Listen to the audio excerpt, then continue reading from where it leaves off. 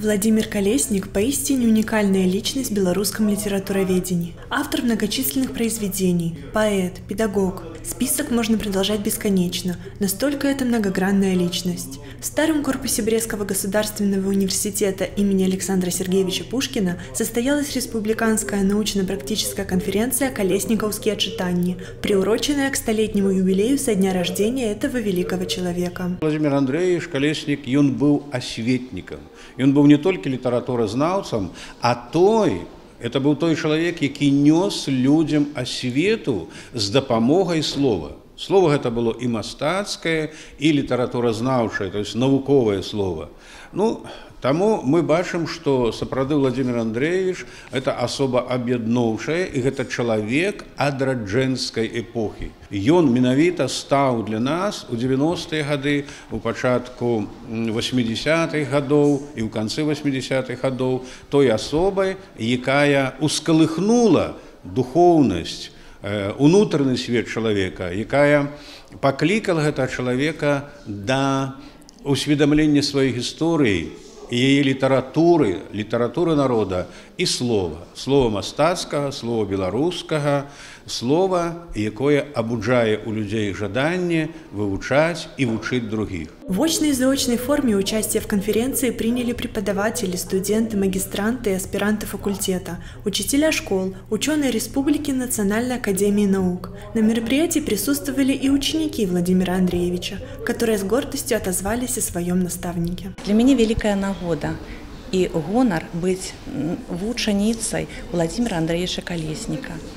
І гэты чалавек вучыў нас жыць сумленна, працаваць сумленна, любіць сваю працу. Аўтограф даваў менавіта толькі так з надпісам, любіць сваю працу, даражыць дзецьмі і там, дзе ты знаходзішся. І менавіта цяперашнім девізам у маёй працы я кіруюся яго запаветам, яго словамі, любіць дзяцей, любіць зямлю, служыць айчыне. Сённяшнія чытанні, мне падаецца гэта даніна памяці Владимиру калесніку як выкладчыку як навукоўцу як чалавеку з вялікай літары Магчыма тыя хто сёння ўдзельнічаюць у канферэнцыі не ўсе ведалі асабіста владимира калесніка але тая спадчына якую ён пакінуў яна нас далучае да яго вялікага слова. Ён сапраўды паўстае як глыбокі даследчык, праніклівы крытык, якому удалося сказаць адметнае слово у нашым навуковым літаратуразнаўчым дыскурсе. Ва ўсіх праграмах па беларускай літаратуры для установ вышэйшай адукацыі абавязкова прысутнічаюць пазіцыі, кнігі, даследавання, вашага знакамітага земляка. І так павінна быць, Таму што гэта вельмі важны кампанент нашай філалагічнай адукацыі и литературознавчей науки. Для того, чтобы рассказать студентам о творчестве Владимира Андреевича, все участники собрались в научно-просветительском центре университета, который был назван в честь этого великого автора. Студенты смогли посмотреть фильм об этом удивительном человеке, поразмышлять о литературе, филологической науке и, конечно же, почтить память писателя. Это вельми значный человек.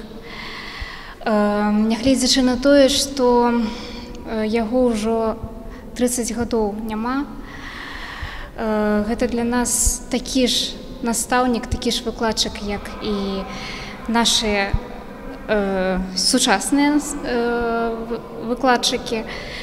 Гэта той чалавек якога нам заўсёды ставілі ў прыклад.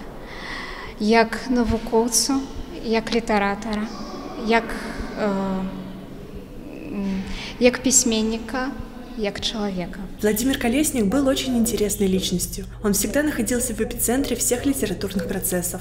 Каждая его работа выделялась высокой творческой культурой, а также глубиной исследовательской мысли, что заинтересовывало каждого неравнодушного читателя. И сейчас память об этом уникальном человеке навсегда жива в наших сердцах.